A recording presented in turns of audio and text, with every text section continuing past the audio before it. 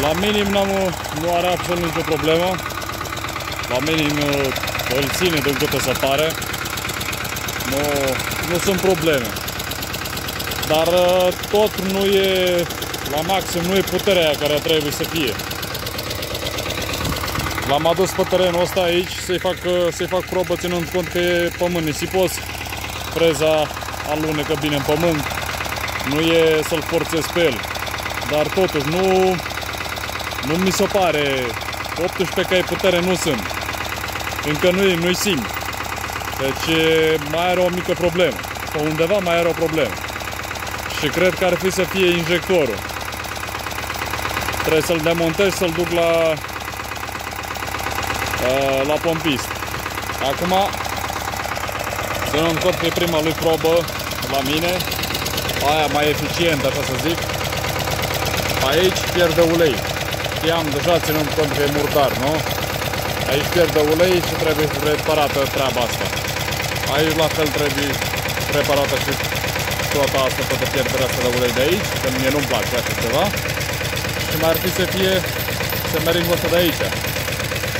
După aceea, capacul ăsta la freză nu-mi place mie așa cum e el. E bine că poți să-l ridici aici să cureți freza, n-ai nicio treabă, dar, dar nu-mi place. Agățat de ăsta, de mâner de aici, nu-mi place. Nu e... Nu așa trebuie să funcționeze. Plus de asta, vă dați seama că tot șocul simte mâner. În fine. Pare să meargă, eu unul acum vreau să termin pe aici, că poate mâine, pe mine plouă și să am pământul ăsta făcut, să zic așa, dar uh, nu e el, nu-l simt. Clipul cu... Uite, acum de să... Clipul cu el când l-am montat o să apară tot săptămâna asta. Sper să am timp uh, astăzi, mâine să pot să-l uh, să-l fac și să-l public. Bun, cam atât uh, pentru moment. Mai sunt încă lucruri de făcut la el ca să funcționeze, să zic așa, perfect, să nu să n-ai absolut nicio treabă. Plus de asta, el aici ar trebui să aibă și el o apărătoare în față.